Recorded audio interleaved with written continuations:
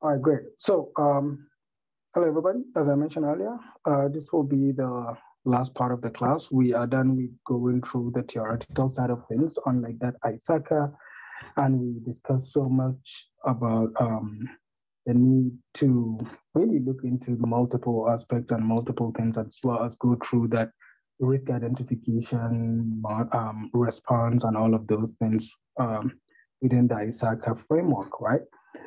Uh, at least following the ISACA way of things. But as we mentioned beginning of the class, ISACA is just one methodology, one framework. And um, even though we do not plan on deep diving into a lot of things like the technical know-how, but what I wanted to kind of do with this class, at least to close on that on the theoretical side of things is to introduce other frameworks, especially around the US Gov.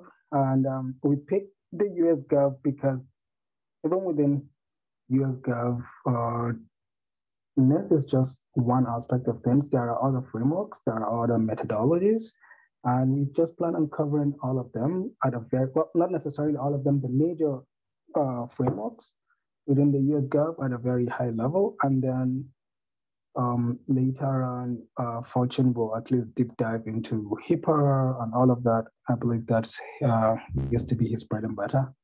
So um, looking forward to that. But again, on your own, you can honestly look up so many frameworks that exist out there, so many standards, um, risk management methodologies, like things like SOX, uh, PCI DSS, uh, CIS, those have more controls and things like that. But there are so many of them out there.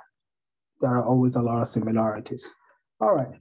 So um, what does the US federal government landscape look like, right? We've been hearing of FISMA, FISMA, um, you hear of NIST, you hear of um, CJIS, all of these CMMC and whatever. And what we plan to do over here is kind of introduce all of these different kind of risk management frameworks, right? And we'll start with, okay, what's going on? Me a second. Oh, great. Um, actually, let me just put all of them. I didn't realize there is just some form of animation with it. But what I wanted to introduce here is these are some major frameworks that um, kind of we use within the US Gov. And um, looking at number four, I believe everybody is kind of familiar with the FISMA NIST 800-37, which is the NIST RMF process, right? I'm not talking about the 800-53 control, but rather the RMF um, documentation uh, that is 800-37. But then we also have other ones starting from the top. Uh, we have like the FAR, which is the Federal Acquisition um, Regulation. It usually have like 15 controls, uh, a little bit old, but primarily focused on contractors. And basically what it does, it's um, it identifies all the um, requirements that contractors must meet to work on federal contracts, right? And these are non-sensitive contracts. Um, basically, the 15 controls are the minimum controls required. But then again, later on, we'll talk about DFARS within DoD and a little bit about CMMC, and those are all towards contractors. But the main basis of those contractor-focused um, risk management uh, framework is around FAR, which is um, the Federal Acquisition Regulation. But then within FBI, this is a smaller one within the Justice Department. You hear a lot of CJIS, uh, even though it's primarily um, FBI, but at the same time, you would find that certain entities, especially around the law enforcement side of things, they still kind of use it. It's very popular, especially within the Justice Department. But um, CJIS is the Criminal Justice Information Service. Uh, started from the FBI division and a lot of law enforcement organizations, you'll find them using it. And to uh, implement those, um, it usually have like around 130 controls, but it could also be more than that. Then down to DFARS. So think of the first one first, uh, FAR, but then the DFARS is more DOD. And that's also uh, focused on con um, contractors but also has around 143 or more controls. Now, the most popular one, because the federal civilian uh, agencies are pretty much the largest part of the gov sector.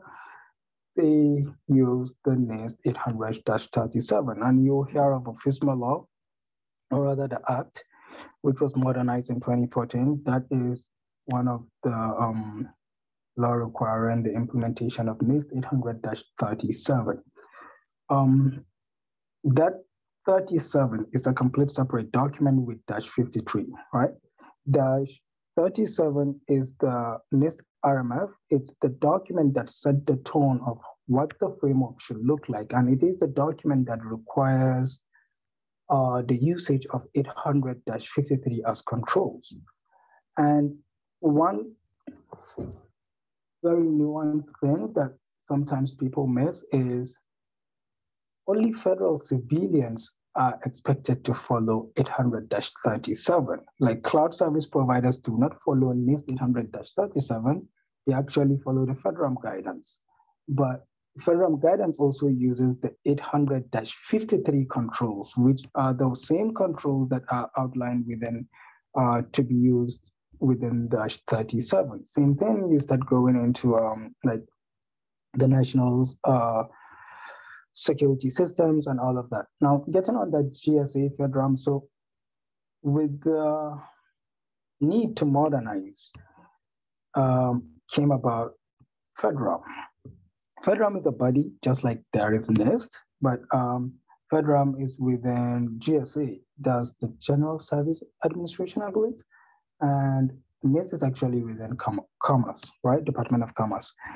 And FedRAMP primarily focuses on cloud service providers, and cloud service providers in this sense does not limit it to just major providers like say um, Google, Azure, or AWS. Nope. If you are to build a website today that is considered a SaaS product and it's providing a certain services to the federal um, government, then at least the civilian side, then you do need to comply with FedRAMP requirements.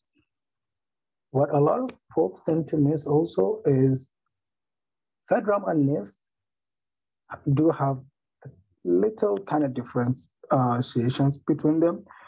FedRAMP is 100% focused on cloud service providers, not necessarily the end agencies. So you will find that it also comes with certain additional controls. Um, whereas the NIST, again, the NIST 800-37 that agencies are required to implement within their systems um, might not have the same, those additional FedRAMP control, but they do have the option to also include that. That's part of something we call tailoring of controls based on the different systems, right? And you'll hear of the DoD SRG. So just like um, we have the NIST 800-37 that is meant for and agencies within the federal civilian, we do have, and I'm skipping uh, Cloud uh, Computing SRG and going to CNSSI on this. We do have similar thing, but focus on the national um, security systems, right? So all agencies that deal with like national security systems, sometimes including the federal civilian agencies do deal with um, uh, national security um, uh, related stuff. As such, they will have to comply with CNSSI. Now, those are also focused on the agencies themselves, whereas cloud service providers that aim to provide services to national security entities, then they do need to follow the cloud um, computing SRG. Just like there is FedRAMP for cloud service providers that are providing services to federal civilian agencies, same there is the cloud um, CCSRG that is usually put out by, uh, that was put out by DISA that um, any cloud service provider that is providing services to DoD specifically um, must comply with, must follow at least. Now, the controls used within um, the DoD SRG are also um, the NIST 800-53, or I will say they're in the process of still moving towards that. One thing with the SRG is that it also provides the requirements, uh, It follows a little bit similar to the 800-37, but the way you categorize is different. So it, even the categorization requirement is a bit separate. That's why you hear of like IL2, IL4, IL5, and IL6 as the outcome of the categorization if you follow DoD SRG, whereas from a NIST perspective, you hear of low, moderate, high. And even how you put the data to do the categorization itself, it's um, DoD SRG is following that CIA, uh, CIA methodology. Same thing with the NIST, but at the same time, how the um, rankings go through is a bit different. That's one major delta between the two. Another difference also involves the fact that NIST have updated the 800-37 to now the Rev 2 version, which contains the planning section. Uh, they call it prepare. The CCSRG is yet to follow that. Now, the CCSRG also outlines the need to use um, uh, controls such as the ones contained within 800-53.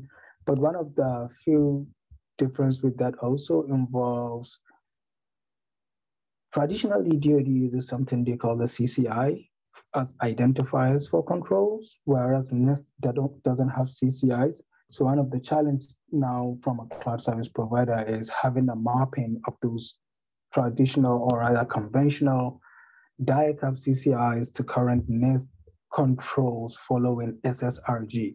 Oh, sorry, CCRG, um, CCSRG, right?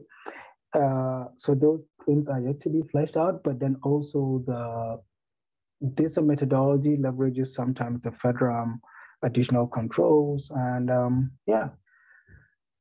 Next is we have the NISPOM, and now you're starting to get into those um, classified, mostly intelligence side of things as well, uh, things above IL6 and those um, overlay controls and things like that. So at a very high level, these are frameworks, or rather I would say risk management um, guidance, major ones within the US Gov. Obviously, there are other ones like um, you will hear of CMMC. It's not yet finalized, but it's still in, in talks. You will hear of the NIST um, uh, there is the NIST cybersecurity framework, NIST CSF, which is, you know, a bit extraction from the 800-37 and even the controls used within NIST CSF. It's basically the same controls as 800-53, but there is a bit of um, kind of um, differences in terms of the identifiers. Uh, another one you'll hear is like the National Archival Records Administration, there is an executive order that requires putting certain controls towards managing the CUIs there. And um, yeah, then DoD CMMC, there are other ones that you can always look up, but at a very high level, these are some of the most popular ones. All right, let's get into deep dive, at least using NIST as a use case. Started from a law called FISMA that, um, so FISMA the original, um, the management version was back in 20, no, 2002, and then it got modernized in 2012. That is what calls for the need to have a risk management framework in place within the US Gov federal civilian. Um, DoD traditionally, or I say US national security traditionally have always had things in place. You'll start hearing from Orange Book and all of those kind of old methodologies. Even back in the 80s, there are kind of processes in place. So it's just continuously maturing. But for the um, civilian side, there has never been an overarching kind of end-to-end requirement. You just find different methodologies in place, more like privacy or maybe data security, data sharing, and things like that. So FISMA was the first thing that called for having a risk management framework in place from an end-to-end perspective for the entire agency. This is beyond technology, beyond cybersecurity, because it also calls for like that's why within these controls you have personnel controls, you have management controls, those things that are non-technical or even um yeah the non-technical controls like the managerial and operational. Even though NIST no longer refers to those controls as that, but there are requirements. That's because it looks at um, risk management from an end-to-end perspective beyond just um, technology, right? FISMA.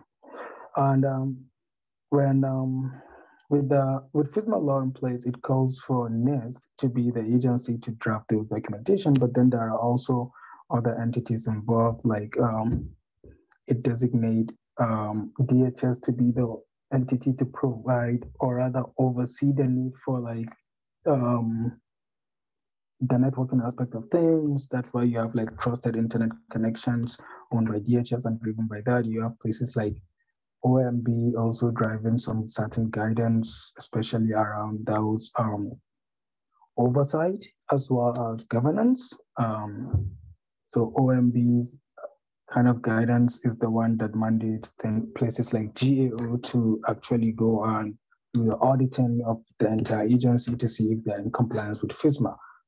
I mean, um, if you read the GAO reports annually, you always find a couple of agencies are really not in compliance with FISMA as they should. And part of that is what is called, so on the NIST side of things, as I mentioned earlier, NIST um, 800-37 is the document that calls, that pretty much set the policies as well as the framework in place on how to satisfy FISMA, right? And that's where you start getting all of those NIST standards in place and many of those 800 publications, like those 800 series, right? Those are all part of um, how to satisfy 800-37. I love NIST, but the organization of the um, documentations it can be really daunting unless one have a good understanding of the process. That's why I used to recommend uh, for this class, I did not, but I used to recommend this book. It was uh, written by um, ISC Square on, uh, there's this certification called CAP. It's not up to date, but it does allow one to know where to start, what does the process look like. Beyond that kind of um, cycle we're all familiar with from NIST. Um, in my opinion, 800-37 should not have the same kind of naming convention as the rest of the 800 series, because every other 800 series falls under 800-37, right? Um, so yeah, and then you also have those FIPS pub publications. Um, basically, they're just a set of standards. Uh, let me give an example. So 800-37 might say or something around um, every agency must implement certain controls if they are using a certain type of system. Okay, and 800-37 will say agencies should use 800-53 control. That's 53 uh, documentations as well as the controls contained within 800-53.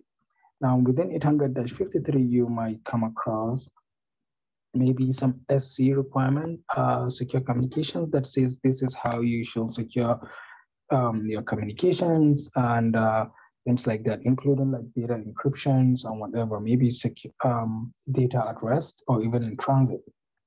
None of those documents, but like the 800 series, will talk about which encryption standard is approved. It's allowed to be used. So then you start getting into those FIPS publications. So FIPS publications are the ones that will set the standard. Within FIPS publication is where you find that the US government approves the usage of like RSA or maybe AES um, encryption algorithm. Uh, those kind of things around certain criteria that tools must satisfy are all contained within FIPS publications. And um, that's why sometimes they keep getting updated continuously, right? So let's touch a little bit on FedRAMP. As I mentioned earlier, FedRAMP provides pretty much a standard approach to um, security authorizations, assessments, continuous monitoring, all of those things we learned. Um, FedRAMP provides a standard approach for cloud service providers, right? Um, so every single provider, be it large, small, that is trying to um, serve the US government, at least the federal civilians must be in compliance with federal uh, requirements. And that's why you hear certain service providers have um, reached maybe FedRAMP low, FedRAMP moderate, or even FedRAMP high. There's a big difference. Um, while agencies receive ATO, cloud service providers receive PATO, provisional ATO, because the final ATO that a cloud service provider will receive is usually from the consumer, not the regulator. That's the work of um, FedRAMP. So looking at it from why did FedRAMP falls in like all of these? So let's think of um, just high level cloud uh, kind of models and deployment models, right? You have the concept of infrastructure, platform, and a software, right? Now, as a cloud service provider, those abstractions do exist. But when it comes from a consumer side perspective on deployment and everything within a cloud environment, of a cloud environment, we tend to have like a private cloud, a public cloud, community cloud, and hybrid cloud, right? Within US Gov, at least when it comes to cloud service providers, there are certain requirements that makes US Gov clouds completely separate from any single cloud. So when I say any single cloud, I mean commercial cloud. So if Coca-Cola today as an organization is using AWS and let's say IRS is also using AWS, their environments will differ all the way down to the data center because US government, part of be it NIST, FedRAMP, DOD, and whatsoever, all have a data isolation requirement. So all of those data centers will be completely separate. Now, that makes a US government cloud kind of you hear like Azure Cloud or even AWS Gov uh, there is also Azure Gov and all of those. Those Gov clouds are more community cloud truly because they are meant for the US Gov community, right? And that's why it usually falls into place. And that's FedRAMP tends to authorize that. They tend to authorize the US Gov clouds. Now, they also do look into um, like say public clouds and all of that, but most times there uh, you find um, cloud service providers use FedRAMP to get authorized for their US Gov community cloud uh, provider uh, that they are provided. Now, um, obviously, from a consumer standpoint, US Gov can decide to deploy it again as well um, in whatever fashion they want, be it make it their own public cloud as again within just the US Gov community. So you pick a place like say login.gov where login.gov, it's within a community cloud, like it's hosted within, say, um, government cloud, but at the same time, it provides services to the entire government community, right? Um, also, they can make it hybrid, a form of the community and their personal environment, or I will say like their private environment. They can make it 100% a private cloud. Um, you hear a lot um, from like, especially national securities and intelligence, you hear a lot of private cloud deployment. Yes, it is owned and managed by a service provider like Microsoft or AWS, but it's still a private cloud because it's limited to those, probably even a, a specific agency, right? And all of those do exist. Now, switching a little bit back to that NIST 800-37, as I mentioned earlier, a lot of us are familiar with this image, but these are like the steps, at least visualizing the document in itself. It usually have these six or seven steps, right? We're all used to calling it the six steps. So I actually appreciate starting the count from zero. It's a recent update, I would say it's almost two years that um, 800-37 was updated from Rev 1 to Rev 2. But um, it starts from planning, categorizing the system, on all of those. And if you look at this, it basically resembles what we did related to ISACA.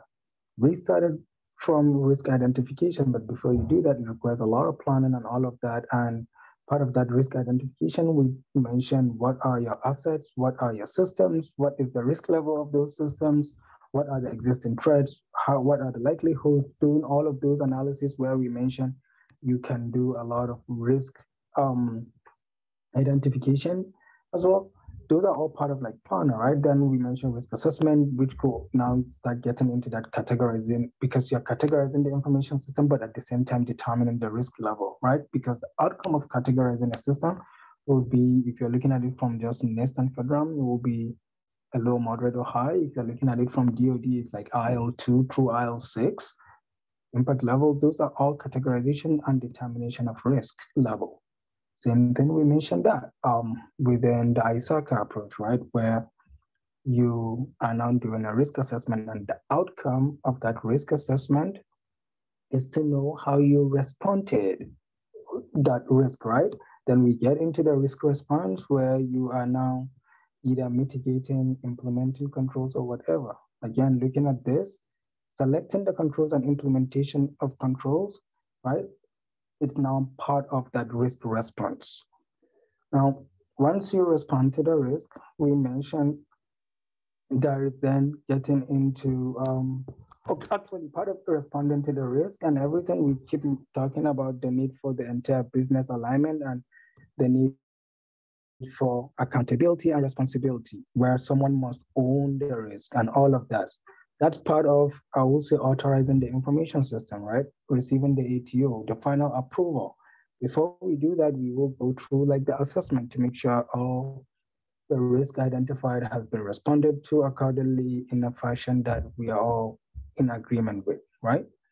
Um, then after the approval, we get into continuous monitoring, just like we mentioned earlier and during the ISACA, the fourth part, which is risk monitoring, right? Here as well, you continuously monitor the um, the controls you implement to respond to the risk, and obviously it's a life cycle. So as you look at these, irrespective of frame, the framework you're going through, you will find that there are certain alignment within the different frameworks. How it is broken down doesn't necessarily matter because starting from identifying the risk, managing the risk, responding to the risk, assessing the risk, and continuously monitoring it. And obviously, depending on organization, depending on that part of the tailoring and business alignment, everything, there will always be way to tweak it, uh, to customize it, or to a specific industry, specific sector, like in this case, to US government, right? Maybe if you take this and try to apply it within the financial sector, it might not be applicable one-to-one. Even within USGov, I assure you it's chaotic to say all security, how you respond to a risk within same, uh, sorry, within different agencies is one-to-one. Absolutely not. I always give example of like you will not expect how maybe national security organizations, DOD and the IC community, like ICs, to respond to risk in the same fashion as like Library of Congress, right? But they're all within US Gov. That's why um, NIST process is very fluid and I would say driven by agencies and highly customizable, but at the same time, it's what makes it chaotic, um, especially when it comes to transferring skill set, right? If you, I know that some of us have come through, gone through this, where you find someone has deep experience, they've been within, say, DoD or maybe uh, one of these intel places for like decades. They've been working there, and they now maybe move to like Department of Treasury and you find their way of going through ATO, it's a complete kind of challenge to everybody because they are now maybe using their knowledge and how to within the, that they are used to within DoD and putting it within Treasury, and that's not the same culture, right? Same methodology. Doesn't mean there is a right or wrong. It just means that different agencies have a different culture when it comes to um, risk management frameworks. And sometimes that's what makes it chaotic. So um, I know if I'm to open the floor, a lot of people have a lot of stories, but we will move on. so yeah, um, looking at this, um, as I mentioned, uh, we have the prepare, categorize, it's just aligning to this. But one interesting thing that you will see is around the different publications that you can leverage to use to um, understand how to go through this. So if you're trying to plan, obviously it will be starting from the NIST 800-37, but if you want to categorize a system, there are documentations that allow you to do that. One of those is the FIPS 199. Sometimes people call it FIPS 199 report. That's the document that guides categorizing. But before that also, uh, in addition to that, there is there are actually two of them, the 800-60 Rev 1 and Rev 2. Sorry, Volume 1 Rev 1 and Volume 2 Rev 1, right? Um, those all help you with categorizing the system. Uh, one sets the tone on how to do it, and the other kind of lists the different recommended categorization levels depending on the different sectors within the US Gov and the type of data. As you get into selecting your um, security controls, that's where you start getting into 800-30 uh, 53, which is the most popular document because it has all the controls listed. Uh, you use that to basically select applicable controls. Um, you leverage also the FIPS 200, which sets some guidelines on the type of tools that you should use. Like I was mentioning earlier, encryption algorithm, for example. If you want to know what is the approved standard to be used, then you go to FIPS 200 to look into that. Same thing if you want to know what are the conditions of password, not the complexity, because complexity is driven by agencies. It's a control requirement around like IA5. But if you want to now begin to see, does it need to be salted? If yes, um, does it need to be hashed? What should be the hash algorithm and all of that? They're all listed within FIPS uh, 200 where if like you need hashing, you will start looking at like SHA-512 and things like that, right? Um, implementation, there's really no single document on how to implement a security control because NIST is not a provider of that. It, it depends on the tool you're using, as we mentioned earlier. If you are using Okta to implement single sign-on, then Okta will have a guidance on how to implement that. If you are using, I don't know, Azure Active Directory for that, then Azure has its own way of that um, whatever it is, if you're doing encryptions, um, depending on the type of, let's say, data at rest, if you're using native kind of, uh, say, within Windows using BitLocker, there's a different way to do it. If I think Mac has its own, I can't remember the name, but the Mac OS, um, is it something involved? If you're leveraging that for um, data at rest, it's a different way, even if you're using a third party tool, right? Um, assessment of security controls is also driven by to know what to look is different with how to do the assessment. So there is a document, just like um, we have a document that lists out all the controls that allows you to select the A for that document. So that is 800-53A provides a way to assess those controls, all of them. Now, it doesn't say how to assess the control because it doesn't even know which control, uh, which technology you use to implement, but it does highlight what to look for. So let's keep, let me use an example. In step three, if you're using Okta as a single sign-on solution to implement um, maybe single like single sign-on and multi-factor authenticator, the 800-53A document will not tell you where to go with within Okta to look for um, the implementation if it is done correctly. However, it will tell you like, try putting in username and password and see if you log in. If it allows you to log in, then MFA is not uh, implemented. There's no multi-factor authenticator. And if multi-factor authenticator is enabled, is it text-based? Is it um, a one-time password base or whatever, then these are the things you should look for, right? And it also identifies, it helps with looking into what loopholes might exist relating to certain implementations. So let me also give an example. Um, if you set a username and password, and you allow the password to be, maybe you just put it, I don't know, 10 characters, and based on those 10 characters, someone can maybe try to log in unlimited. They will just keep trying it. That's a form of a, so meaning there is a vulnerability there, or maybe there is a possibility of a brute force attack, right? 800-53A will let you know to look in to make sure that you have a limit on the number of tries that you are allowed to do to um, do within um, password attempts, basically, right? Even though within step two, there is a dedicated control. I think it's IE52 also that allows for, um, that calls for the need to have a limit on password attempts. Authorization of a system, um, that's where is that dealing with the AO, the authorizing official, to get basically a signature, right? After all of those uh, have gone through. Usually assessment is done by third party or maybe um, the assessment team, depending on how you say if you're getting an external auditor or if it's an internal kind of audit team, but it's usually a separate team uh, other than the system owner or even those that do the implementation. It's usually a completely separate team, right?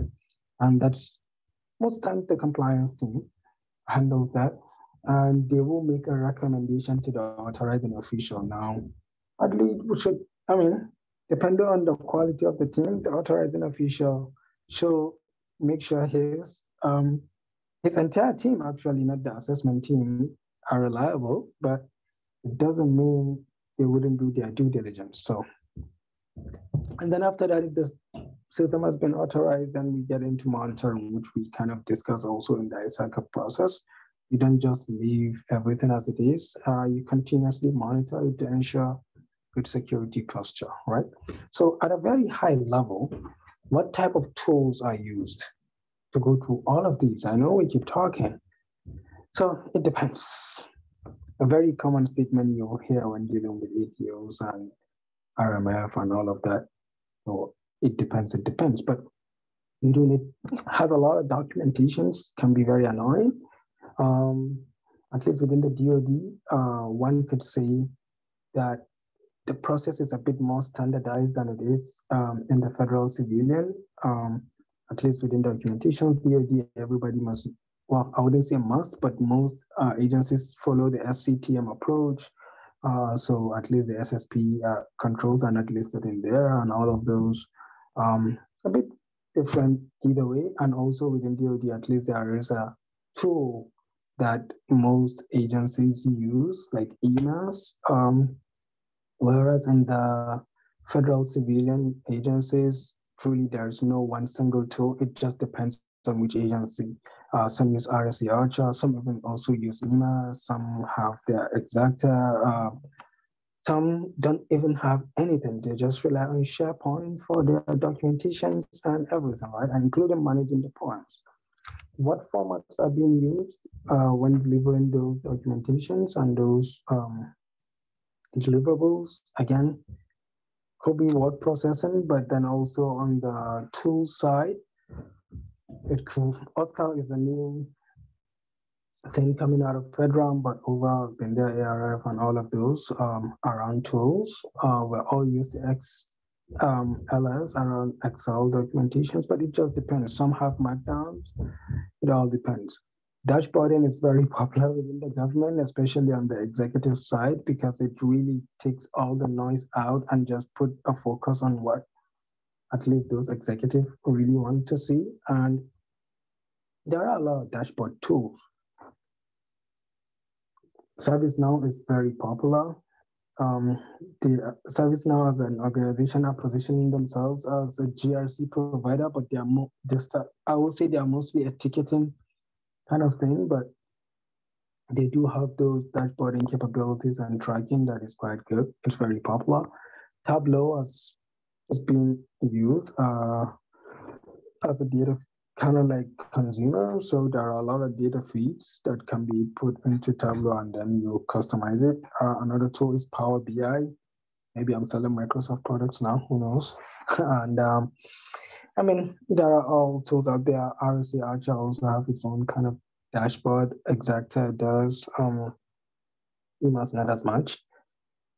Or implementation tools. So now when you get to that, how do you implement? Um, that's where you do sometimes manual implementations. Uh, there are STIGs. Those are all tools. Uh, within Azure, we have what we call Azure Blueprint. I believe um, you hear of Terraform for like uh, CI/CDs. Uh, secure deployments, automated deployments are also common practices. Different tools allows for that. Um, within AWS, they have their templates that you get to customize and all of that. But then you also get to do your own custom scripts, if or maybe leverage another. I tend to like um, SANS, especially um, when you're dealing with like Windows systems. SANS tend to provide a lot of resources and scripts uh, that allows you to kind of do a lot of implementation, right? Uh, once you start getting to that monitoring side of things and aggregation, we mentioned um, SIEM tools, right? A very popular one is Splunk, now within the entire industry, really powerful tool. Uh, log analytics, we have that within Azure. I'm not really conversant as much with that of AWS, but also within your local system, you can extract your logs and you know, create your own little tool and alerting capabilities. But those are all different SIEM tools that you can use to continuously monitor your environment, your systems. Um, keep in mind that it might not necessarily provide an end-to-end view of your entire system or even your environment. So there could be parts where you might need to supplement. Um, but yeah, Splunk is quite powerful in that. Another, I mean, there's really no one single tool that provides end-to-end, but there are some tools that are very mature in providing more capabilities. And truly within DoD, eMASS is another is one system. Is it the best to provide end-to-end? Truly, there's no best to proceed. um, but it's quite. I would say it is to serve as a repository, in the sense that you get to just do your actions within it and also store the documentation. So I would actually say it serves beyond being a repository, right? Because you do get to mark your controls in there and everything, but it doesn't do things like secure deployments. You wouldn't do monitoring in there, none of that. Um, Xacta, it's it's a great tool, a challenging one because it's highly customizable. I guess they're trying to get at the bigger market, very popular within the intelligence sector, but then also popular within other federal civilian organizations. Um, it doesn't have a strict workflow, so it provides that customization that is needed within RMF. Unlike eMASS, it kind of have a very strict workflow that is more customizable, like that is not customizable. It's more DoD centric. And even within DoD, you find there are a bit differences because like the army is different with like see the Navy, Navy, they have these things they call the um, NQVs. They don't use what they call, um, they don't use scores. They have, um, so they don't use con- security control assessors. Rather, they use something called NQVs, like the Navy qualified validators. And those are all nuances that you still don't get as much within eMASS, but at least provide a seamless workflow um, end to end. You don't get to customize that. Xacta, you do get to customize it. So it requires a high, I would say it requires superior knowledge of the process just so you can use Xacta. But then Xacta is more on the, like it's a private organization, whereas DOD is, sorry, eMASS is owned by DOD, created by Booz Allen, owned by DOD. Xacta is a third party, non-US gov owned. So maybe they're trying to target a much larger market. Um, RSA Archer, it's a commercial off the shelf product, really powerful. Um, but it's not specific to like say US gov uh, that's not actually their primary market. Um, the financial sector uses it a lot. Um, different sectors actually uses RSA Archer, but it's a really great tool. So um, same company, uh, the um, same company founded by the same three folks that kind of founded the RSA encryption algorithm. Uh, it's a security company. It used to be part of Dell. I don't know if they are still part of it. I used to work with them way back, but yeah. Um, assessment tools. There's really no single assessment tool. It depends from are you assessing the network, are you assessing the application, are you what exactly are you assessing, right? If you do if you did a STIG deployment, there are so many tools out there that allows you to check the compliance state of your STIG.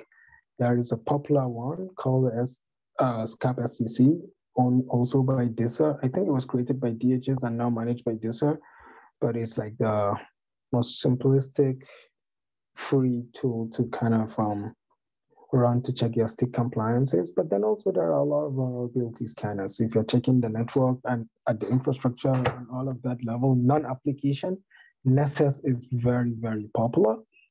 It's um, one of the major tools, especially because it has CVE tags, uh, because CVEs are more like the standardized unique identity for um, unique identifier for different vulnerabilities, right? And Burp Suite is a web application scanner. So at the application layer, Burp Suite is also a very popular tool. I like it. Um, but there are also a lot of free tools. It depends. Uh, like Vulnerator is another. One great thing with Nessus and Burp Suite, at least within the government side, it's because they have all achieved federal um, authorization. So they are very common within the government space.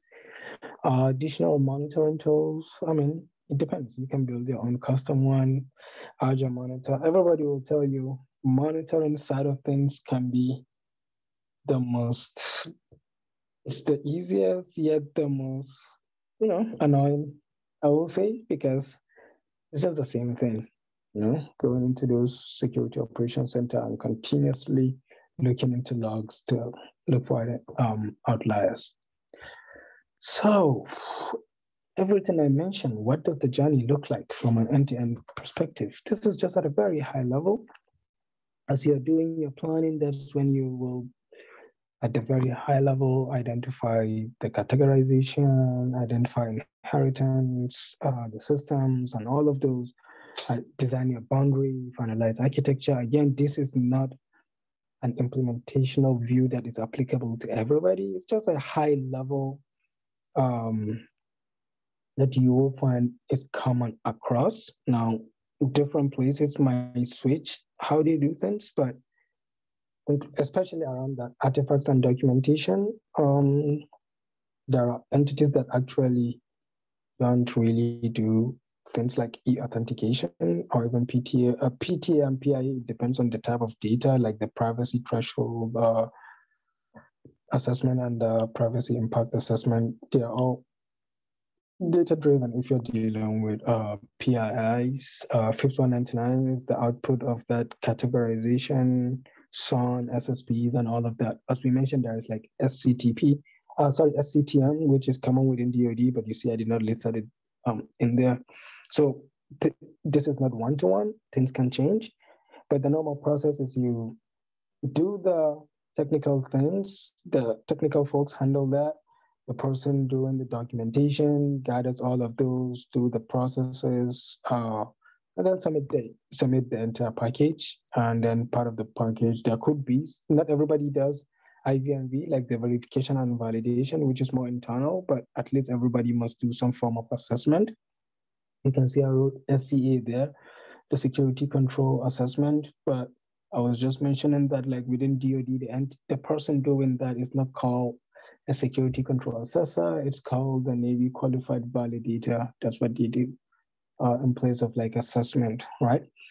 After that, um, gather all of those. So technically, you actually submit the evidence before the assessment. It just depends. But yes, you submit the evidence before the assessment, and then um, do the assessment. At the outcome of the assessment, you'll find some findings. Um, I will say the security um, control assessor or the auditor or the 3PAO or NQV will, will do the assessment and there could be some findings. Uh, sometimes they will tell you to fix those findings, that's the remediation, or they will um, kind of uh, issue AORs and push those findings into POAM so the system will still be authorized, but then POAMs in this case, more like risk register from our last ISACA uh, lectures, right? And then you keep tracking those, uh, reply to them, and uh, based on that, the assessor will make a recommendation for authorization, and that goes to the authorizing official. They do their review and they sign it. So, like an end-to-end join, as you can see, there should be additional step at the end that gets everything into the monitoring side, which um, if you're in a consultant, you know, most folks after the authorization, they're out of it, some are out of the project, and then you get into O&M, but that's where the main money is, I guess, for consultant firms, because those operation and maintenance goes for years, the contract to do that. But yeah, this is just a generic view, high level from an end-to-end perspective, but obviously it's um, customizable and different depending on the agency. And this brings us to the end of today's um, session. Any questions? So I, I, have a question. Could you go back to the um, slide that had all of the tools, the assessment tools? So the risk management tools, yes. So, and I don't know, maybe it's a rhetorical question. I know that the Internet of Things, the act that was signed, the executive order that was signed, is supposed to make um, software vendors, supply chains uh, divulge the vulnerabilities within their tools. I just, I don't know if there's a little irony in this. The program of records, like for DoD, we're forced to use certain tools. Um, when those tools to assess risk are risky themselves, for lack of better terms, or when you are unable to secure your network because you're bound by programmer records that are outdated. What, I mean, I guess what, maybe this is a question for a dissertation, but what is the, what you all see in the industry going on with that? Like, am I the only one seeing that in, in my work? I'm just curious because it's just, I laugh at it. I'm looking at like Azure, and we all see open source, you know, SolarWinds, Azure. Mm-hmm. I mean, Windows Print Spooler, Print Nightmare. I mean, just yeah, patch this. It doesn't work. There's issues. What do we do when it's just impossible to assess the risk, or the risk is the tool we're using? Over. So, um, seriously, a very great question, and I'm honestly also looking forward to this new committee that was set for cybersecurity around um, responsible disclosures uh, mm. to see what you come out with. Yeah, because um, that vulnerability disclosure within a time frame in itself could be an issue when the uh, when the vulnerability has not been remediated, and even much more of an issue when the vulnerability, as you mentioned, is related to the control you are using, right? The main tool in itself. And while I don't have a direct answer, I would say this brings us to, I don't know if you can remember, in the lectures when we were saying every time you make a decision of a control, the control in itself could introduce vulnerabilities. I was given an example of you could decide to replace or update the lock in your front door to something of a biometric, and then that could also bring about additional vulnerabilities. It's a continuous process. And I wouldn't necessarily say you can get rid of um, uh, risk completely. However, from, from a professional standpoint and best practice, the idea is that you look at the existing controls and vulnerabilities that you have and you look, sorry, you look at the existing processes that you have and then you also look at what you are introducing new as that control in itself, and you make a risk-based decision. So in this scenario, you know, kind of uh, the example you gave, I will honestly say you have to look at it with the lens of should you be using the control in itself? Because probably if you use the control, the risk is much higher than not using the control. And it's a possibility. So I guess I'm like you. There is no one single way of doing it. With programs, however, I think that is much more of a government culture. And I can't believe I'm saying it, but it's slow for our program and processes to be updated compared with the industry. So you always find that, I guess that's what they call bureaucracy, right? but yeah, those processes will tend to take a while, I guess. So I don't have an answer, but I'll open the floor for others to see if they do. Anybody?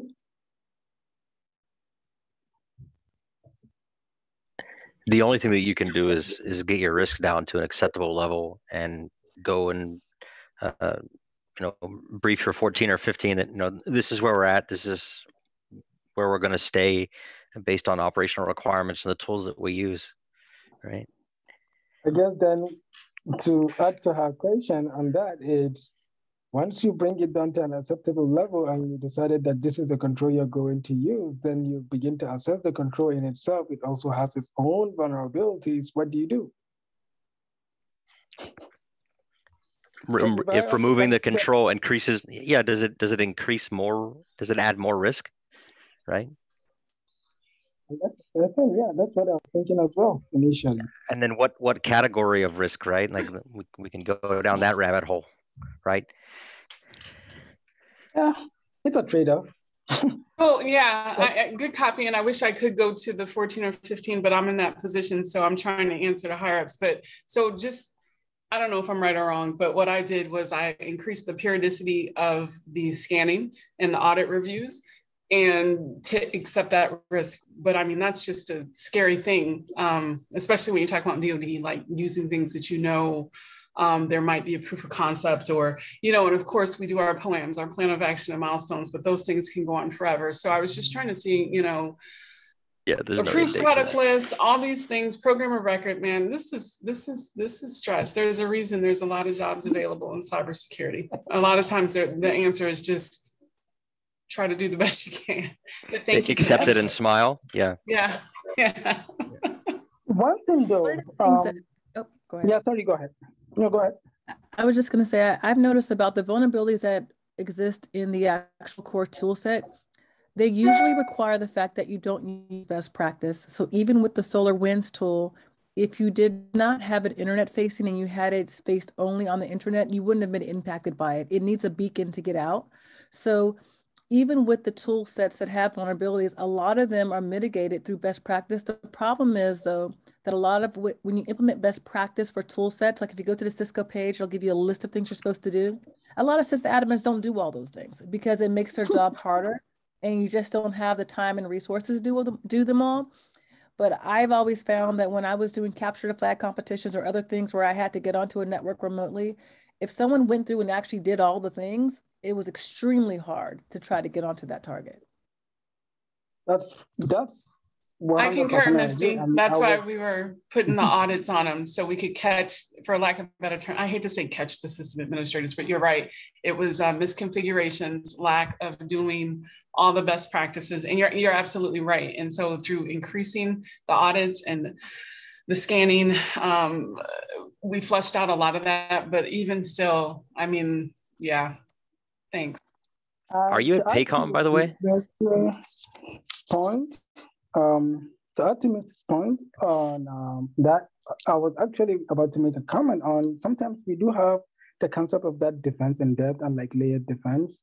Um, I mean, it's not a new thing. And that's why sometimes I tend to laugh when people say like, well, there are still DoD systems that are still running Windows XP and whatever. I'm like, yeah, but the risk is that to those systems are considered from external sources and good luck trying to get into those networks. Probably your regular device might not even get to those networks, right? It's like maybe link 16, maybe it's beyond even TIC connection. So I think sometimes it depends on also the rings, right? Like you look at it from a ring perspective, which where is that vulnerability you talk of? And then from a layered approach, truly what are considered those, what are those threats to that?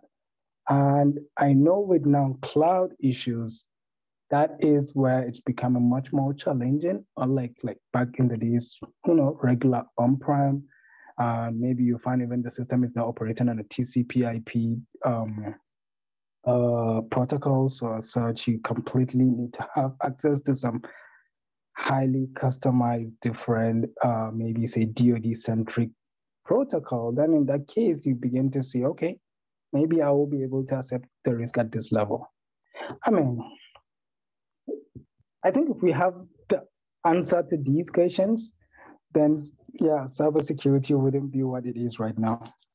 but yeah, anyone? I think someone was trying to say something. Yeah, um, Dr. Wazir, I, I agree with um, you know the conversation. You can never. I mean, I've seen so many clients that put controls in place but you know they, they and they think they're monitoring properly but these controls after a while aren't doing what they were expected so it's all about that security profile that you set to ensure you stay within that profile there's a lot of tools out there not just SIEMs but even artificial intelligence on top of the SIEM which uh, sets a certain threshold and if the control is not doing the job it should be doing then it could auto- automatically or give you a recommendation of what needs to be done. So it's really about continuous auditing to ensure that on day one, when you set that control, uh, you know, after the 12th month where the auditor comes in to see what's going on, you have reports to indicate that you didn't veer away from the current profile that was set to ensure that you can check off all the boxes for your regulations, your compliance, whatever the case may be. Um, but the problem still exists where individuals um, they believe security is a set it and forget it, and they don't continuously monitor or continuously audit the environment. That's the problem. You could you put so many tools in front of them, yet they don't follow the recommendations of some of the um, you know some of the professionals that tell them what to do. I agree with you, and these are all. I think we should have uh, added a conversation around this topic, and this is all under the assumption and we are focusing on the tool in itself. Now, what if the risk is coming from the tool provider themselves? Let me give a couple of examples. We all heard of, you know, how back in the days, I mean, not just far along, like the US government uses Kas, uh, Kaspersky and it's a Russian tool. And then you look at China is now saying, you know, any non-Chinese device is going to uh, is no longer going to be used within their governments, right? Like so HP and all of these devices, they probably will take them out because everybody is now thinking, you know, it could be the provider themselves, not really the tool. So there are so many tool providers out there. Guess what happens with that? I mean, there's a lot. Anyone? This would have been a very good um, weekly discussion, but there's only so much we can have. But yeah, uh, great point bringing this up, Frida. Any other question, anybody? Anyone wants to share similar challenge within like the industry, non-gov? I know we tend to drive it from a government side of things in this class. Yes, that's my fault, but hey, anybody that is not within the US Gov wanna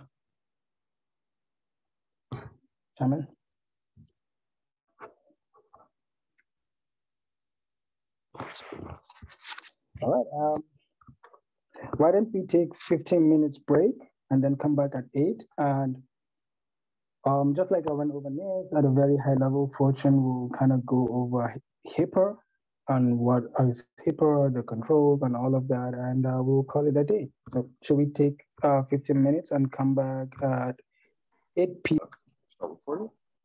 And I'll share my screen. Can everybody see my screen? It's loaded. All good. Yep, good here. Yes, we can. Great. Okay, everyone. As you already know, um, my name is Fortune Enrique. Um, I'm a doctoral candidate here um, in cybersecurity at Marymount University.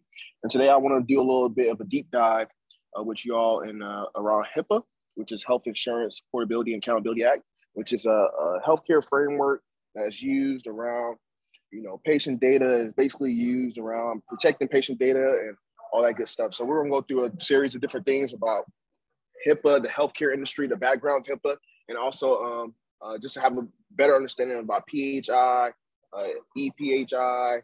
Um, we'll talk a little bit about implementing healthcare and HIPAA assessments. And just to let you know, I have a, a, a pretty solid background, which is my bread and butter, um, as Dr. Uh, Dr. Waziri uh, said earlier. Um, I've been in the HIPAA and healthcare industry uh, before I got to Microsoft. So that was really my background around healthcare security. Uh, I have my certifications around that. I'm EPIC certified, which is like an electric uh, electric EMR and medical record. EPIC Security Certified. I have the ISC Square certification around healthcare, which is the HCISPP, and all that great stuff. And I have a degree and master's in healthcare informatics and uh, security and all that great stuff. So let's go ahead and get started. The objective, the first objective will be understanding cybersecurity frameworks and functions. Second, we'll understand the healthcare environment and HIPAA. And third, we'll talk about how to implement an effective HIPAA assessment within your organization. Uh, the first thing I want to talk about the healthcare framework and uh, functions. These are the different functions that you see. Um, it's a range of different things. A range of different things, uh, which is you can look at it from five. You can look at it from different standpoints. It's the NIST CSF 800 171 consists of five core functions, 22 categories, and 98 subcategories. Um, and these are different controls that we basically measure against. You have uh, the identify, identify section, you have protect, detect, respond, recover, and all these different things um, are used. Has anybody in class ever, you know, done an assessment uh, against these different frameworks? Uh, I know a lot of my past experience has been around, you know, these doing NIST assessments, doing HIPAA assessments against these frameworks. So there's a particular there's a particular things you are having to look for in these different organizations in terms of actually identifying like for instance, for example, identifying asset management. Well, basically, when you're trying to, you know, go against those security uh, frameworks, or when you're trying to go against them, you're basically trying to see: Do you have a true asset inventory? Do you do you have accountable system owners and uh, system system owners and asset owners who actually know that these systems belong to them? So that's one example. Um, you have different processes here that you're trying to implement and improve on access control. So if you look at it from a healthcare standpoint, do you have access controls in place? Uh, from a healthcare standpoint, can nurses see what physicians are supposed to see? Can physicians see what pharmacists are supposed to see? They're, these are different access controls that you're supposed to have in place, especially around healthcare when it comes down to you know patient data. There's only so much access that's allowed for a certain person, and not even just healthcare related. If you look at it from a general perspective, you know access control is very important. Uh, there's people who have privilege access and stuff of that nature. So these are the different controls that you need to see and when you're ranking them, you're ranking them from a from a high, medium, and low standpoint. I know we're familiar with that, but there's different ways of how to actually rank them, which we could talk about later on when we have a discussion. But I guess I just want to ask the class, um, um, on your organizations, do you guys basically have different organizations you are a part of? Do you guys have any type of cybersecurity assessment or control that you're measuring against? Anybody want to speak? Uh, yeah, fortunate. I um, I deal with a lot of different clients, so I mean, I I, I span the the the vector or the um, uh, the industries of you know healthcare, finance, uh, retail. So there's a lot of different frameworks we use. But you're right, though. Uh, you know, the identify, protect, detect, respond, recover, being very focused on uh, even right now supply chain supply chain risk management. A lot of my retailers they want to know about that because a lot of their cloud providers or cloud partners how do they know that you know where's the weakest link in making sure that their PCI information is not lost? So there's a lot of different ways that you can you know skin the cat here, but there's a lot of different control families you're presenting here. So it all depends on you know where the weakness lies within your your client, obviously. Yeah, P- PCI. Thank you for that. I 100% agree. PCI is a great uh, a great example. Uh, payment card industry where you're basically measuring against financials that's a great example. Anybody else have anything to say about these different functions, or are you guys are you guys actually actively in your organizations, or have you actively in the past past experience have you actively measured against these security controls? Um, do you guys actually do quarterly or have some type of some type of cadence on these assessments, or maybe you don't do it at all. Maybe this may be your first time seeing it. Fortune, I actually have one question. Um, it's sure. not related to the monitoring you mentioned. It's more around the controls. So does HIPAA uses the 800-17 these controls, like um, from 800-171 as the main ones, or are you allowed to look into other frameworks and controls? Uh, in the past, is, these are the controls that we actually look at. This is exactly what we measure against. Um, but we're, we're, we're using it from a lens of uh, healthcare, healthcare lens. So it's against the healthcare assets that we own, it's against healthcare patient data and stuff of that nature. These are the controls that we are using and measure against when we do HIPAA security assessments. Got it. Thanks. And um, for just, just to add to that, uh, sometimes I'm working with healthcare clients some of them have no frameworks what to speak to speak of, and they, they confuse them, uh, you know, compliance with security and privacy, which all three are different. So what we do is we try and build them a framework based on perhaps the NIST cybersecurity framework, but we map it to HIPAA uh, requirements based on their um, on their auditing for compliance purposes. So you can you can mix the two, but at the same time, you have to have some kind of framework, whether it be HIPAA by itself, or if you want to establish a security privacy framework, you could follow a NIST as well and, and just map map the uh, the categories as well. Yeah, that's correct. That's also an option. Absolutely.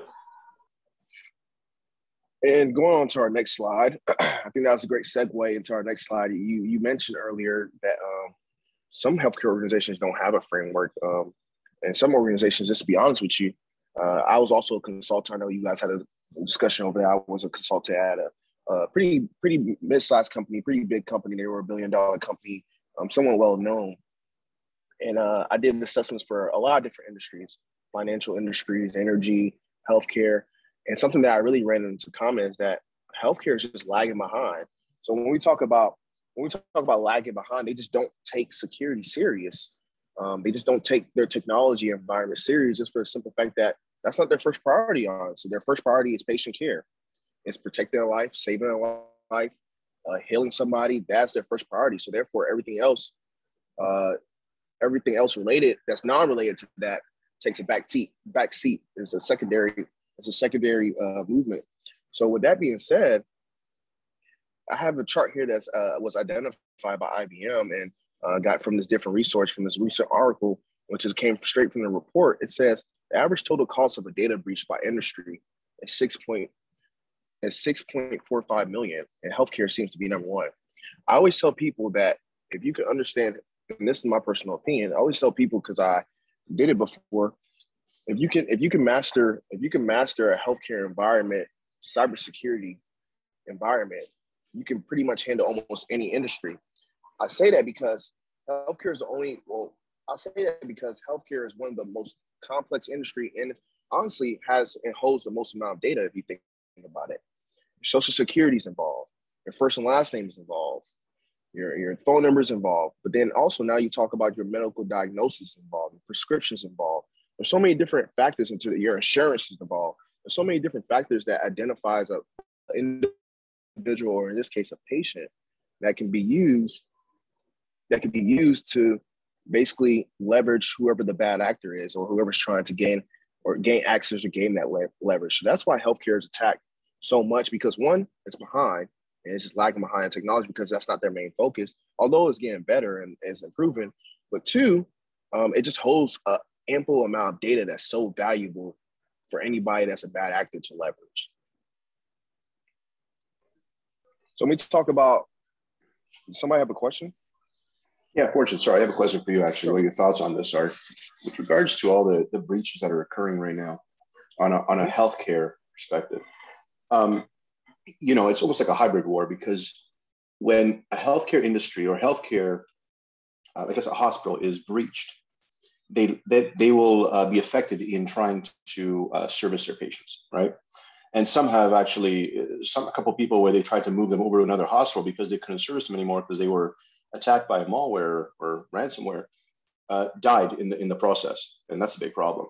So, with that said, do you believe that uh, healthcare industry, the healthcare industry is taking a lot more seriously with regards to breaches that are going on that could affect not only information, but also people's lives, because that's that's the the stark reality of it, unfortunately. Absolutely. Um, to be honest with you, I actually think that once, well, they're starting to catch on because, like you said, especially now since COVID, COVID has been such a massive increase of, you know, phishing attacks, so many different things, email, uh, email attacks, or you know, things that are trying to to get nurses or the clinical staff or wherever the case may be to click on the link about during the time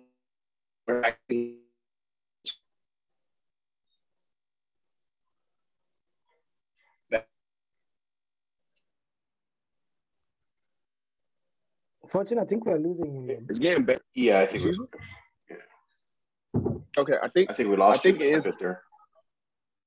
Okay, can you hear me now? Yeah, now we can. Okay, yes. Uh, I think it is getting better, but I still think we have a long way to go. Um, the reason why I say that we still have a long way to go is because we we are still lacking behind. We we don't know what is needed in our security teams or our technology departments to actually have an efficient to actually have an efficient, well fluid cybersecurity program in place.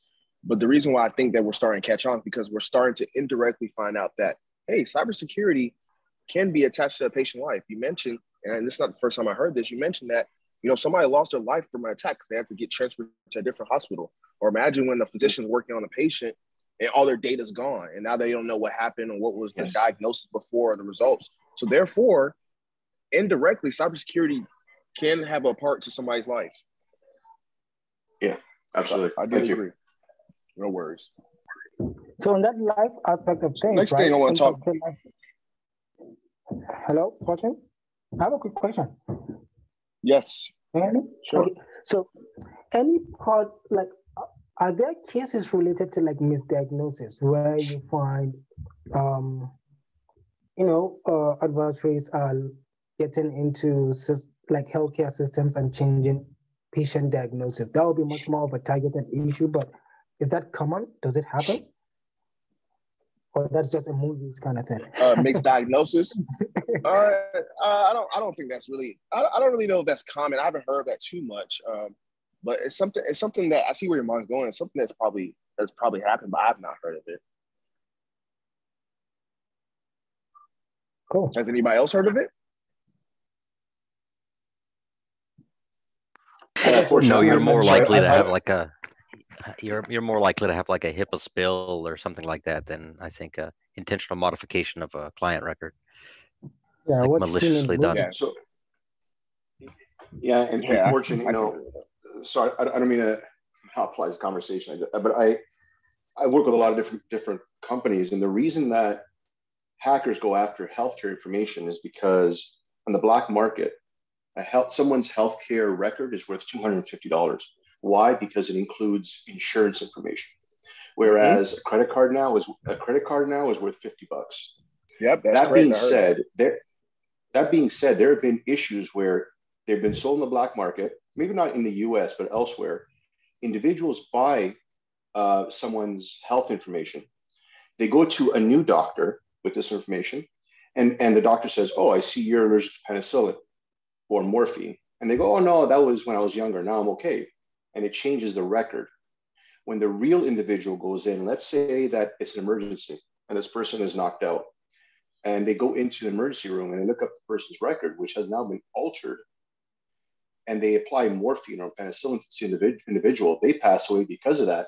That's the fear. And actually, I heard, um, I heard some healthcare specialists at a conference talk about that once, and I'm like, man, that's scary. And that's just because of you know leaked information and sold in the black market. So I think this has to be really taken seriously because of the, the effect of the ones and zeros now affecting a, a human body or, or, or a human. That's the problem. I completely agree. I 100% agree with that. Everything you said is completely, it's completely factual for sure. Yeah, it's unfortunate, So- really, but yeah. Yeah. So the next thing I want to talk about is uh, protect the health information, which is the first thing that we have here is any information that is transmitted or maintained in the medium, including di- de- demographic information. Uh, basically, this is can be created slash received by a covered entity, a business associate, uh, basically related to describe past or present for physical or mental health conditions, past or present or future payments for provision of healthcare. It can be used to identify a patient. Everything we just named earlier and everything you just named um, earlier was about how, you know, the insurance or social security or day of birth, everything that's used to identify a person, identify a patient or person is considered protected health information, which is called PHI. Types of data that we protect by HIPAA, these are the types of data that we protect by HIPAA. Uh, I know some people were, I know when I presented this to a recent class, I know some people were really confused about number five and number four, but they did not know. But these are the types of data protected by HIPAA. It can be documentation, all paper records. There are some practices, believe it or not, that do not have electronic health records or electronic medical records. They're still on paper record. They're still on papers. I saw as a consultant when I was doing a physical walkthrough, trying to assess them on their um, on their security controls to see if they were digital or they were how they were transmitting or processing patient data. Honestly, on top of that, there was a lot of spoken and verbal information, including uh, voicemail, voicemail messages, electronic health uh, information, which is used on USB memory cards, electronic health data, data, and you have photographic images such as X-rays. Uh, when you're walking by, you know you don't want somebody knowing your X-ray of your body, and audio and video recording, regardless of a surgeon or a physician needs to do that or need that for some type of procedure or surgery. So these are things that are protected by HIPAA. Every single one of these things are HIPAA, and once they're linked, it can be as simple as, oh, your um, your X-ray uh, images was not filed correctly. It was left on the counter, and somebody came to visit and you know accidentally picked up the wrong file or something of that nature. I mean, that's that's that's invading somebody's privacy, somebody somebody's healthcare um, is still being viewed on. So these are all the different things that are types. These are all the different types of data protected by HIPAA, all different forms. Uh, Fortune, I have a, a question. Sure, With, go ahead. Uh, fitness trackers, what do you think? Should they be uh, HIPAA compliant? Should they uh, comply? Like Fitbits, Fitbits, and like any of those fitness exercise uh, app, apps, because they actually do take your, uh, you know, your personal information or health information. Yeah, I thought they are. I thought they are. They go through a HIPAA HIPAA compliance. All those companies are federally uh, approved at a, at a government level. I'm sure, like Apple Watches, uh, Fitbits. That's why so there's so much different things when it comes down to uh, of Things, medical devices. All these are considered and go through some type of assessment of how to protect your patient information because that in itself, yes, it's protected by HIPAA, HIPAA compliance, all that great stuff. Thanks. Any other questions before I move on? Okay. So next thing I want to get into, uh, I guess before I even start, has anybody here actually went through the process or have ever done a HIPAA assessment? Has anybody ever done one or been through a HIPAA assessment for a client or for a, a healthcare system? Yeah, yeah, I have fortune. Okay. So what were some of the things yeah. that you were looking for? What were some of the processes that you ran um, that you were trying to do to make sure this was a complete HIPAA assessment that your client or the or the healthcare organization that you work for understood where they mm-hmm. stand and where their posture was at from a cybersecurity perspective? Well, that's where you know um, doing an assessment. You're looking at first off, we're, we're trying to trying to identify their critical assets, right? Their data, obviously. Um, where is it held? Um, how is it how is it handled? Uh, you know, it, and also different devices that they have within the environment, the ecosystem, and are these devices um, at risk for being um, infiltrated and things of that nature? So if you're if you're following like uh, the, the the CSF, you know, after they identify, then after that, are they protecting it properly? What are the what are the procedures? Are there policies in place for different staff members, whether it be nurses, doctors, administration, and things like that? Um, this this one in particular was going out to the cloud as well. So data was not just on prem, but also was dispersed. So visibility was there visibility within the ecosystem to see what was going on with that data. um, at the end of the day, it's, it was all about, and they also had IoT devices. And some of these were like, you know, proton pumps, morphine drips, things like that. And did they have, and of course, we all know IoT devices don't have um, primary controls. So what are the compensating controls? Did they have visibility into that? Was there a SIEM? Was there a managed detection response system and things like that? So all of this was mapped to a compliance sheet that, you know, you have to do, the, you know, do the checkoffs for, for HIPAA. But at the same time, we wanted to ensure that their environment was secure and private at the same time. Great feedback. Yeah, that's a great way to measure it. Anybody else has any experience? Well, some of the stuff that I would like to talk about, and if anybody else to piggyback on it as we go step by step, you know, implementing a HIPAA assessment. I think the first thing you have to do is determine where are we measuring, like what PHI do we have access to? Uh, I know we talked about PHI earlier. Like where where the data HIPAA is a is a data driven framework to protect the patient data, protect the organization that holds that data. It is a it is a data driven framework, um, and we have to determine what what is our we have to determine what that is. The next thing we have to do is um, assess our current security measures. Like what do we have in place to protect it? Um, are we, for instance, are physicians going between their different practices or their different satellites between their health systems and faxing you know, faxing documents from one end to another and having cover sheets? Do they have those security measures in place? Are they going to different? Are they going to different things such as, you know, such as um, having vulnerability management programs in place, making sure that, you know, they have some type of some type of timeline or SLA to remediate those vulnerabilities because we know those systems are healthcare systems and those systems within those healthcare systems have been there for ages, legacy systems. Are they being patched? Are they being remediated on a 30, 60, 90 day vulnerability cycle to do stuff of that nature? What are the current security measures in place to ensure that we're holding the systems that are holding the data? One, to make sure the systems that are holding the data are in place and make sure, and two, if they don't have systems and these are paper records, what are they using as mechanisms to ensure that their data is not being leaked? The third one is that we want to identify where you are vulnerable at and the likelihood of those threats. So there's different ways that you want to you want to measure that, and that goes into number four: determine your level of risk. We say all the time, although I'm not a big fan of this, honestly, the the lows, the moderate, the highs. Those are the ways that we we rank them.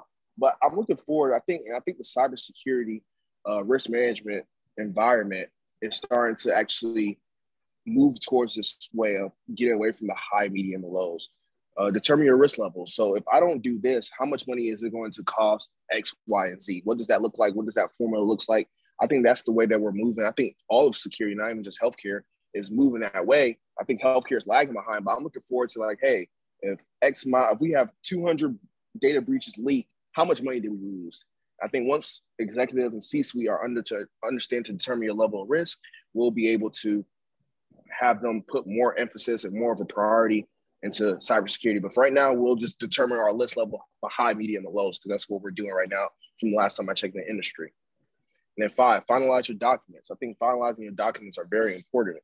Um, you need to basically you need to see what related what's related to the HIPAA, what's related to HIPAA explained documents that comes out. Like, do we have a business continuity plan in place? Do we have a disaster recovery? If we were to have an outage, could we get our data back of those patients immediately and be able to you know, provide patient care, which is our which are which is our top priority, which is can we be able to recover from all these outages? Do we have those process policies and procedures in place for different stuff of that nature from a BC from a BC or DR standpoint, or even an incident response plan if you're actually under attack?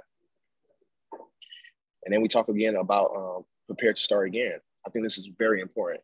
This is not a one-time thing. What's the cadence? Are we doing this and reviewing this quarterly? Are we reviewing it monthly? Are we doing it yearly? Just throwing numbers out there. What's our cadence? And by review, I'm not saying like, hey, we're just glancing at it. Are we getting our security team together within these healthcare organizations or getting these consultant companies to review our documents and see if we're up to date to be able to to be able to first to be able to get ahead of these bad threat actors or these malicious act, uh, activities that are going on and become get smarter and wiser and have policies and procedures and steps in place to overcome these attacks, and one and two to make sure that we're actually on accord with these different organ. We're we're on core. We're on accord as an organization, as a cybersecurity team or IT department, wherever the case may be, or wherever your organization is ranking them.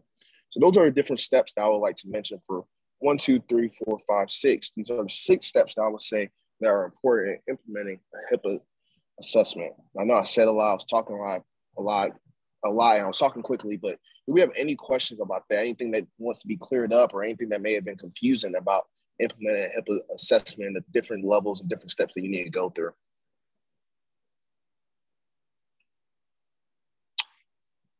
So how often is it done, uh, if you don't mind, like the HIPAA assessment? Do you know, is it annually, uh, every three years?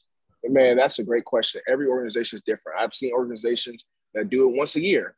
There's some organizations that are very on top of it that may do it twice a year or quarterly. There's some that haven't looked at their probably haven't looked at their policies and procedures or some of these documents in probably three years. You know what? The funny part about it is that there's some who may not even have these documents stored, may not even have it. They just wing it and something happened, oh, we just usually go to our security team and they just figure it out. It's not documented anywhere.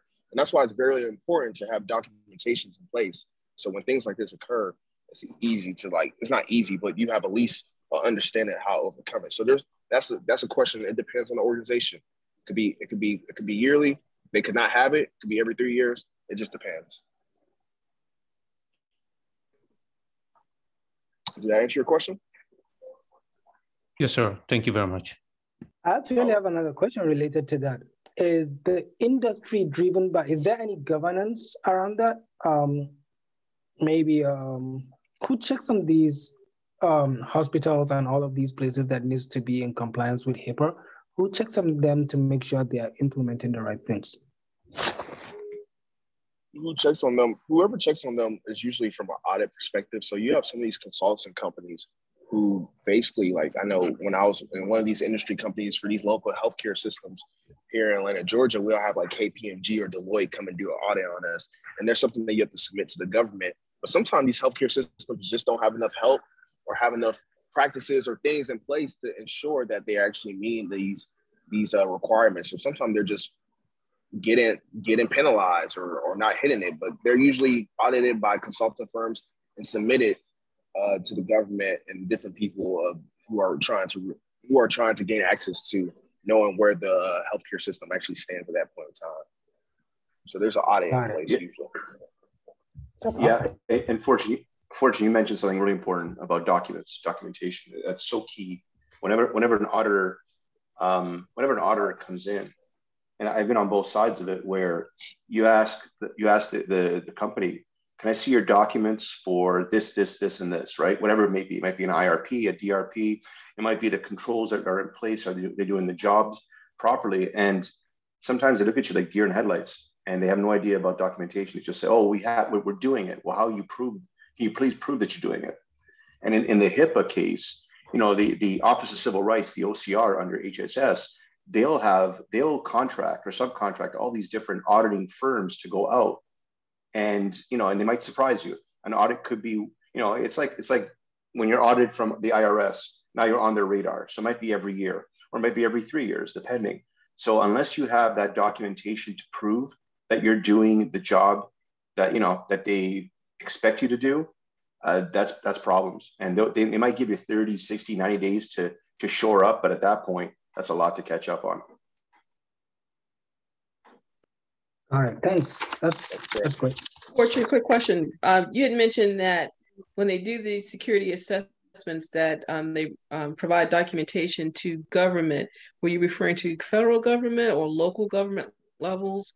Who's who's the government that you're referring to? I was referring to federal. I think uh, uh, the, yeah. Um, that's federal. O, federal. Yeah. O, yeah. OCR and HS, OCR H, federal. Yes. Yeah. All those governments. I think that's the that's where I was referring to federal level. And also, if you're using you're using, um, you said like um, consultant auditors, um, are, are they? If everyone can kind of, maybe I misunderstood that you're using. You don't necessarily have to use a standardized framework. If you're using different ones, do you just use an auditor that's familiar with that framework that you are using? I mean, is there any type of high, higher level standardization, especially if you're reporting to the federal level? Uh, I, uh, I'm trying to understand your question. So you're asking, is there any frameworks that these auditors are going against? Yeah. Uh, the other than what you right, other than the HIPAA, HIPAA one. I'm sorry. No, that would be the only. So they're only using the HIPAA controls that you're mentioning. Yeah, they're using HIPAA controls or anything else that's. Uh, I know that was mentioned earlier, but it's usually mostly HIPAA controls. Yes, that's what they're using these healthcare organizations. Okay, thank you. Have you seen the? Have you seen it differently? Done differently? I, I've I've kind of just based on this week's question, I've asked some people who are in the um, who work as hospital administrators and worked in hospitals, and they gave me quite a little bit different stories. So I, I was just trying to clarify what what I heard versus what you're explaining. What, what was the story they gave you? I mean, it's always a learning opportunity. No, no, no. I, I, am not going to contradict you. I'm sure you know more than they just work in, in a hospital, you know, on the different wards and administrative offices. Okay, no worries. Uh, the auditors and assessors, similar to how um, like we have it within this and everything. I will assume the consulting firms that are doing the auditing must also be somehow certified to issue um, or, car- or to conduct assessments HIPAA related. I will assume that, right? I'm not sure. I don't know much about HIPAA. Similar to like the financial sector. So I have a quick question. That's correct. Is it that, a difference? That's correct is the difference trying to achieve regulatory requirements via compliance with HIPAA, but also there may be a layer of the cybersecurity um, assessment general, like they go with every network that are also applied. Could it be like two, I don't want to say two standards, but they're trying to achieve two different things, these network administrators. So maybe just going back to what Judy was saying, maybe that was the disconnect? I think if from what I'm hearing here, and please correct me, Fortune, I think HIPAA is primarily data driven, where it only applies if you're dealing with like PHIs and it doesn't even expand to like networks and things like that, does it? I don't know. So HIPAA HIPAA it deals with PHI. It's, it's a data driven framework. It deals with PHI and EPHI stuff of that nature. But um, when it, when you talk about networks, of course, there's different networks that needs to be. There's certain maintenance or requirements that needs to be in, in place when you're talking about transmitting the data between the networks. That's when the networks actually come into play. Like how, how are we transmitting these data? How are we processing it? That's when networks and different things of that nature and systems will come into play. Plus, also, uh, Dr. Waziri, if you're doing if you're doing a HIPAA assessment, and you know, uh, if my company does an assessment, we don't do audits because then it's a conflict of interest. But if we're doing an assessment on the HIPAA, uh, and the client will say, I need a full HIPAA assessment, then we're, we're doing a security rule, the privacy rule, the notification rule, because the security rule is more based on the data, which Fortune mentioned, you know, the, the data aspect of it. Uh, privacy rule is how information is being handled. This could be uh, paper-based, this could be, um, you know, uh, data-based. And then of course, the notification rule if you are breached because of data mismanagement, what, what are the steps you're taking to ensure that individual, individuals know about it? And also you're trying to mitigate as much loss as possible. So um, HIPAA has like a, HIPAA has like a, you know, a checklist that you can go through all these different aspects. Uh, but to, to, to comment also on, you know, are, are they looking more for protecting their network from data or just checking off boxes? that's where you should be mapping the HIPAA assessment to a NIST 853, um, you know, CSF or even an ISO, depending if they're not an international company. So it's it's always good to follow two different frameworks because HIPAA is not a um, an all inclusive full-fledged framework. Yeah, full-fledged exactly, framework. Exactly. Exactly. Yeah, um, this. Well, this I mean, that's why we have that's why we have HITECH. Purpose of HITECH to Sure. expand on the the implementation of the HIPAA since it was kind of like, oh, we might need to protect this. It's a little bit important. Then it's really important, and then we'll implement NIST and ISO like you were talking about because it is extremely important, right? Exactly. Just Exactly. looking Yeah. from DoD perspective, I think uh, they have the overlays, right? The PHI and the financial. I'm not sure about the PHI, but I've seen the financial part done, and they use outsiders. Normally, there's a special uh, assessors that come from external, pay extra amount of money. Uh, I, I'm thinking PHI would be the same as well, um, but I'm not sure. But again, just like how the HIPAA, the regulatory requirement with the financial, you'll have that Gramm, um, Gramm Leach, Bliley, whatever. Yeah, the GLBA thing. Yes, you'll have that. So I guess what I'm trying to say, and maybe we're all kind of saying the same thing, is that there's going to be a regulatory piece to it that's coupled with um, following best practices protection. Absolutely, because and, and prime example of that is going to be if you're looking at HIPAA versus PIPEDA, right? Like as a hospital, you have HIPAA, you have HITECH, and then you have PIPEDA if you have Canadian citizens, right? And those are all regulatory requirements. And there's even more, right? Those are just the ones I remember off the top of my head. It seems like we're all going through, uh, like all of these are just the same type of pain. it's a great discussion, though. Yeah. Uh, no, go ahead. Yeah, I want to say something. This is Franklin. Yeah, so um, uh, um within the DoD, right, there is the Defense Health Agency, right, that is pretty much, I mean, responsible for, you know, protecting, you know, the many, you know, uh, military hospitals, you know, across um, um the United States and even um, um, overseas, right and they do tailor, you know, the HIPAA requirements to, you know, um, their internally developed, you know, policies. I mean, it's, it's, it's pretty much the same thing. You know, you look at access control, you know, encryption, data at rest in transit, you know, and even some of the system that, you know, um, the data sits on, right, you know, they have to follow certain um, um requirements. I, have not done any um, assessment with regards to HIPAA, but I know, I mean, some of the controls are very, similar to, you know, at least 800-53, you know, the access control, you know, um, and things like that. So I mean, within DoD, you have HIPAA and they have uh, internally developed um, policies, procedures that tailor back to, you know, um, the requirements in HIPAA. Over. That's correct. Yeah, that was a great discussion, guys. Um, very informative. I appreciate you guys for being engaged. So just wrap it up to get to the last slide, which is summary. Uh, the summary is basically um, healthcare security is focused on being free from danger slash life threat and risk is an indirect way of how we protect patient life or uh, patient health. Um, two, HIPAA focus on being secure and protected from the risk of loss, damage, unwanted modifications, or other hazards such as fine and loss of trust having a loss of trust in organization is super big in general from cybersecurity. But imagine how some of these patients may feel, you know, hesitating to go somewhere because every time they go somewhere, they, they, they lose their patient information or their the organization is always is always going through some type of data breach. Three, security is often often achieved by means of several strategies undertaken simultaneously or used in combination with one another.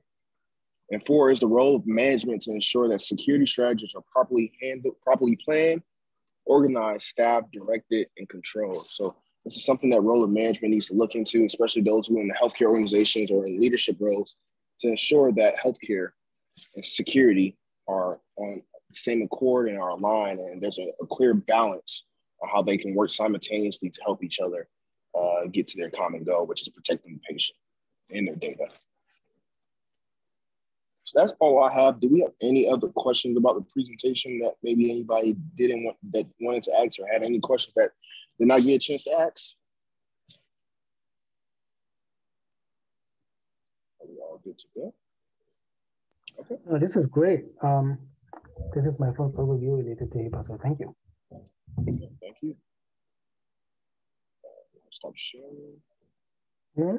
Pass it back to you. Sure, thanks. Um, and uh, you can uh, stop recording. Um, so yeah, everybody. Uh,